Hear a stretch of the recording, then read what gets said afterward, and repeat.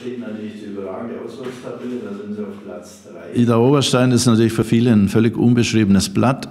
Dazu muss man wissen, dass das die drittbeste Auswärtsmannschaft der Liga ist. Zuletzt haben sie in Trier 3 zu 0 gewonnen, da haben unsere Jungs im Herbst verloren. Also ja, das muss man einfach so ja, in die Waagschale werfen, dass hier eine der besten Auswärtsmannschaften der Liga kommt, wenn nicht die beste. Und unser Konzept ist halt hier, den, den Stärken, die die naturgemäß haben, die liegen nicht nur in der Defensive, sondern auch im schnellen Konterspiel, im Ausschwärmen, dass wir das äh, möglichst weitgehend verhindern wollen und unsere Stärken einbringen, die ja auch äh, vorwärtsorientiert sind.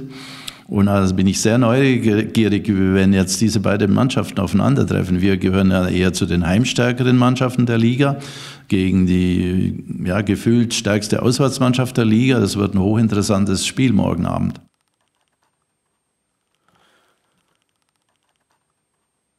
Diese Mittwochspiele, die wir jetzt gerade in Serie haben, die, die sind ja diesen Spielausfällen geschuldet. Das ist dem Terminplan geschuldet, der meiner Meinung nach sehr optimistisch war.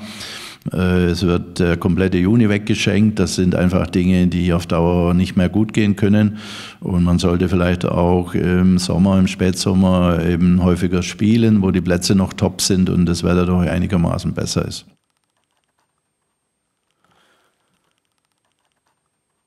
Wenn ich jetzt den Stand von heute nehme, er ist täglich zugange, er macht sein Reha-Programm sehr diszipliniert und da besteht schon die berechtigte Hoffnung, dass er mit Beginn der neuen Saison wieder im Kader ist und dann natürlich hoffentlich zu alter Torgefälligkeit wieder zurückkehrt.